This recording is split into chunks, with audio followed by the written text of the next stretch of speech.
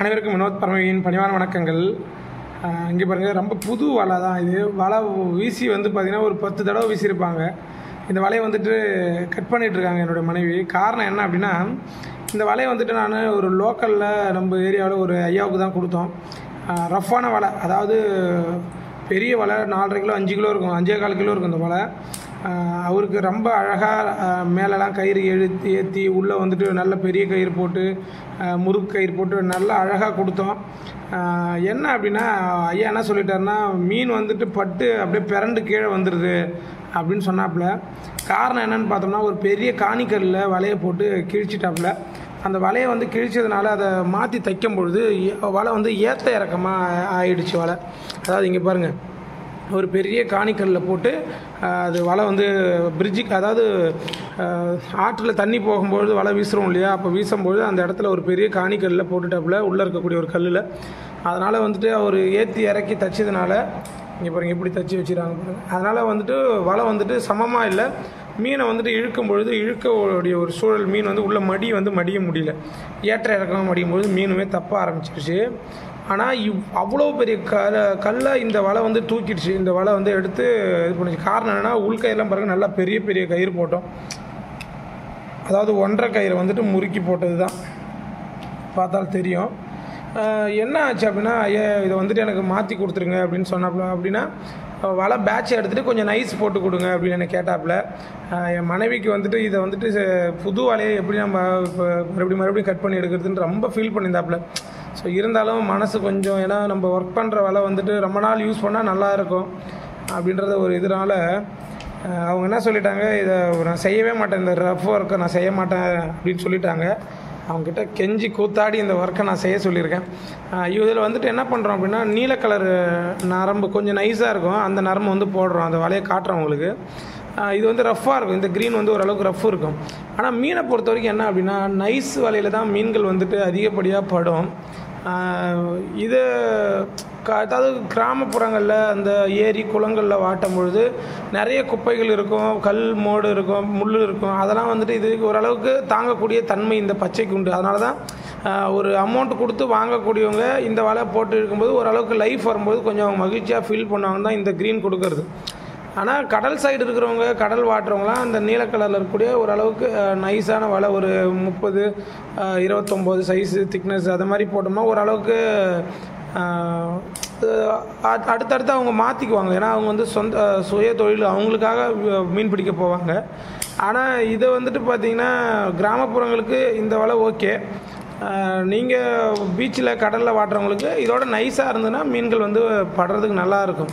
ஆனால் இதில் வந்து ஒரு பெரிய பெரிய மீன் பத்து கிலோ பாஞ்சு கிலோ மீன்கள்லாம் பட்டுது அப்படின்னா கண்டிப்பாக இந்த மீன் இந்த வலை அறவே அறாது.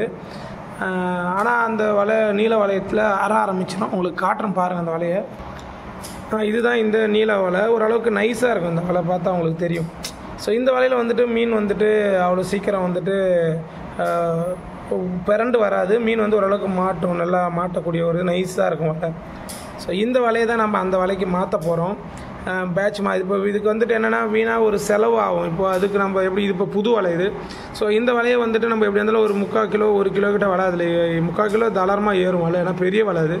ஆறு பேட்ச் போடுவோம் இப்போது ஸோ அது மாதிரி இப்போ இதுக்கு நம்ம வலைக்கு காசு அப்புறம் மறுபடியும் அதுக்கு நம்ம செய்கிற கூலி. ஸோ இதுக்கு குறைஞ்சது வந்து ஒரு இரண்டு நாட்கள் வேலை நடக்கும். ஒன்றரை நாட்களுக்கு மேலே வேலை நடக்கும்.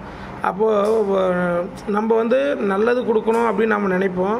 ஸோ சந்தர்ப்ப சூழ்நிலைகளை என்ன வேணாலும் கஸ்டமருக்கு அதாவது வலை வாங்குறவங்களுக்குமே இடர்பாடுகள் அவங்க எப்படி திருப்தி அடையுது அப்படின்றதுமே நம்ம இதில் பார்த்துக்கலாம். அதனால் மனிதர்கள் வந்துட்டு திருப்தி அடையிறதுன்றது வந்து பார்த்திங்கன்னா அவ்வளோ சீக்கிரம் திருப்தி அடையாது. எந்த ஒரு விஷயத்துலையுமே ஸோ இந்த வீச்சு வலையில் நான் நிறைய கற்றுக்கிட்டேன் யோகாவில் எப்படி என்னுடைய அனுபவங்கள் வந்ததோ இதை இந்த மக்கள் வந்துட்டு ஒவ்வொரு துறை சார்ந்து ஒரு தொழில் சார்ந்த இடத்துலையும் நம்ம ஒவ்வொரு பாடங்களை வந்து கற்றுக்கிட்டே இருக்கோம். அது இந்த வலையிலுமே நிறைய பாடங்களை வந்துட்டு நான் கற்றுக்கிட்டு இருக்கேன் வாழ்நாளில்.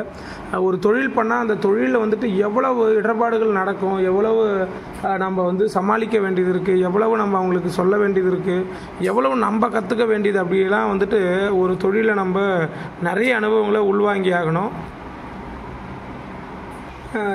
இந்த வலையை பாருங்கள் இது வந்துட்டு இப்போது ஒரு ஒரு இரண்டு வருடங்களுக்கு மேலே இந்த வலையை நம்ம பண்ணி ரிப்பேர் வந்த ஒர்க்கு தான். முடிச்சிட்டோம் பாருங்கள் இது அழகாக பேட்ச் போட்டு முடிச்சு வச்சுருக்கோம் பாருங்கள் ஸோ இந்த வலையுமே நம்ம வந்து ரிப்பேர் ஒர்க்கில் தான். அப்படியே ஃபுல்லாக ட்ரெஸ்ஸை ரிமூவ் பண்ணிவிட்டு வேறு ட்ரெஸ் போடுற மாதிரி அழகாக அந்த வலையை எடுத்துகிட்டு நம்ம புது வலையை இப்போ அப்படியே போட்டு மேட்ச் பண்ணியிருக்கோம். ஸோ இந்த இதில் பார்த்தீங்கன்னாக்கா இப்போ வலை இதில் ஈயம் e வந்துட்டு e ஈயம் மட்டும்தான். E ஈயம் கீழ்கவர் மட்டும்தான் வந்துட்டு பழசாக இருக்குமே தவிர மீதி எல்லாமே புதுசு. உள்கயிறு இருந்து எல்லாமே புதுசு.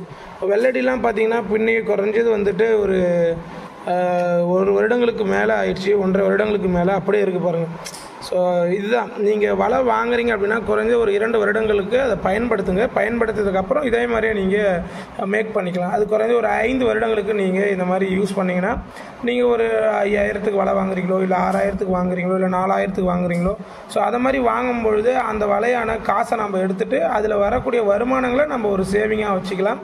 நம்மளுடைய குடும்பங்களுக்கு அந்த பணங்கள் வந்து பயன்பாட்டுக்கு இருக்கும். நீங்கள் எந்த பொருளாக இருந்தாலும் அதை பாதுகாப்பாக பத்திரப்படுத்தி வச்சிங்கன்னா கண்டிப்பாக அது சில நாட்கள் பிடிக்கும். ரொம்ப நாளுக்கு நம்ம வச்சுருக்கலாம்.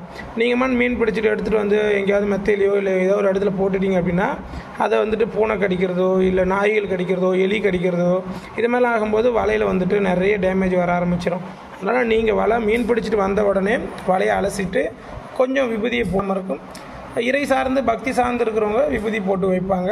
ஸோ உங்களுக்கு எது தோதுவாக இருக்கோ நீங்கள் அதை போட்டுட்டு நீங்கள் அழகாக ஒரு கவரில் பையில் வச்சுட்டிங்க அப்படின்னா நீங்கள் எப்போல்லாம் மீன் பிடிக்க போகணும்னு நினைக்கிறீங்களோ அப்போ நீங்கள் எடுத்துக்கிட்டு போகலாம் ஸோ நீங்கள் உங்களுடைய தொழிலை நேசிக்க கற்றுக்கிட்டீங்க அப்படின்னா கண்டிப்பாக உங்களுக்கு வாழ்க்கை வந்து மேன்மை பெறும். இந்த வலை வந்துட்டு நான் பேட்ச் மட்டும்தான். இது உள்கயிறுலாம் புதுசாக இருக்கிறதுனால நம்ம ஒன்றும் பண்ண போகிறதில்ல அழகாக இப்போ பேட்ச் மாற்றிட்டு நான் உங்களுக்கு ஒரு பதிவு போடுறேன். எப்படி இருக்குது அப்படின்றத சொல்லுங்கள் நல்லா இருந்ததுன்னா எனக்கு கமெண்ட் பண்ணுங்கள் நிறைய பேர் ஒருத்தர் சொன்னாப்புல பைத்தியக்காரன் அப்படிலாம் ஒரு கமெண்ட் பார்த்தேன்.